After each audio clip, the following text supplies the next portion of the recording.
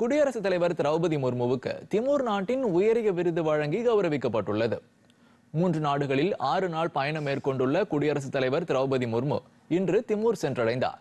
அங்கு டில் நகரில் அவருக்கு அந்நாட்டு பாரம்பரிய முறையில் உற்சாக வரவேற்பு அளிக்கப்பட்டது.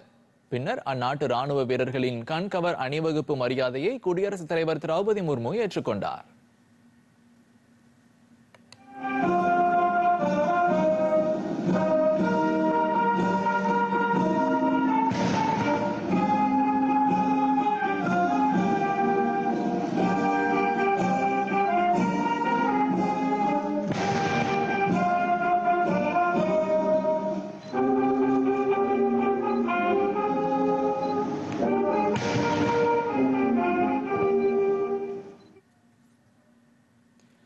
குடியரசுத் தலைவர் திரௌபதி முர்முவுக்கு திமூர் நாட்டின் grand collar of the order என்ற உயரிய விருது வழங்கி கௌரவிக்கப்பட்டது.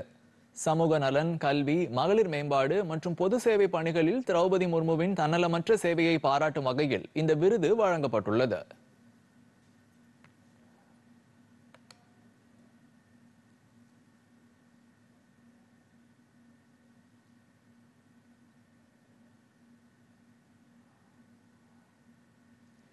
இந்த விருது குறித்து கருத்து தெரிவித்த குடியரசுத் தலைவர் திரௌபதி முர்மு இந்தியா திமூர் நாடுகளின் நட்புறவை மேம்படுத்தும் வகையில் தாம் கௌரவிக்கப்பட்டுள்ளதாக கூறினார்.